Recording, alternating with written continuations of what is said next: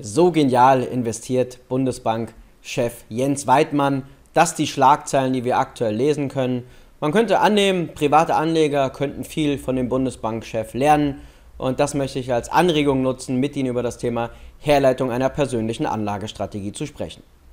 Wie ist die Nachrichtenlage? Nun ja, die Mitglieder der Europäischen Zentralbank, also des Präsidiums, wurden von der EZB verpflichtet, mitzuteilen, in welche Finanzinstrumente sie investiert sind man möchte hierbei nicht die Vermögensstruktur der verschiedenen Personen offenlegen, sondern lediglich börsengehandelte Wertpapiere transparent machen, um gegebenenfalls Interessenskonflikte offenzulegen.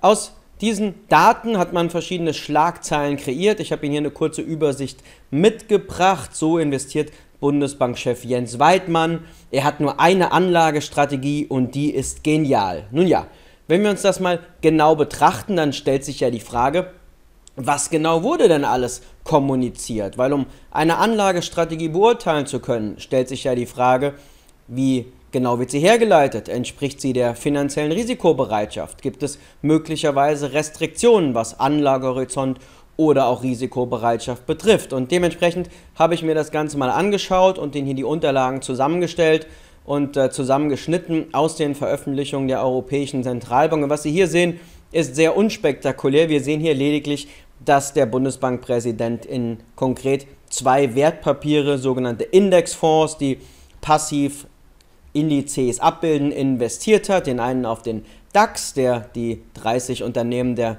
höchsten Marktkapitalisierung Deutschlands abbildet, und dann noch einen globalen Indiz, der auch rein auf Aktien basiert. Also, was wir nicht sehen, wir sehen weder seine private Vermögensstruktur, was Immobilieninvestments äh, betrifft, ob er die selbstgenutzte Immobilie bereits äh, schuldenfrei gestellt hat, ob vielleicht vermietete Immobilien da sind. Wir wissen nichts über die Höhe seines Einkommens, über die Nachhaltigkeit und die Sicherheit seines Einkommensstroms. Wir wissen nichts darüber, ob er seine Altersvorsorge bereits geregelt hat. Wir können nicht beurteilen, ob und inwieweit die Finanzierung der Ausbildung der Kinder bereits geregelt ist. Also das alles wissen wir nicht.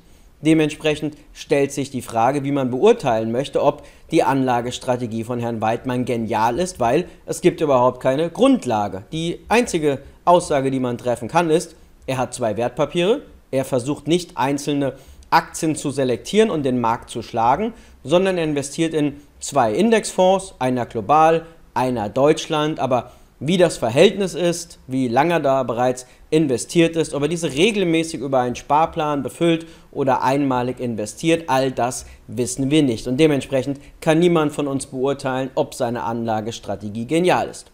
Er ist Volkswirt, er ist 51 Jahre alt, verheiratet und hat einen sicheren Job. Und er besitzt zwei ETFs. Und meine Damen und Herren, wenn das ausreicht, um die Qualität einer Anlagestrategie zu beurteilen oder auch aus Rückschlüsse für andere Personen abzuleiten, dann halte ich das doch für etwas flach und dementsprechend sind meines Erachtens die Schlagzeilen nicht ganz äh, zutreffend. Das ist ganz nett, aber es ist äh, keine Information, die Sie persönlich bei der Herleitung oder auch Umsetzung Ihrer Anlagestrategie weiterbringt. Dementsprechend, aus den genannten Gründen, sollten Sie nicht so anlegen, wie es Jens Weidmann tut. Der Einzige, der anlegen sollte, wie es hier dargestellt wird, das ist Herr Weidmann selbst, weil er ist der Einzige, der seine persönliche Situation und seine finanzielle Risikobereitschaft vernünftig einschätzen kann.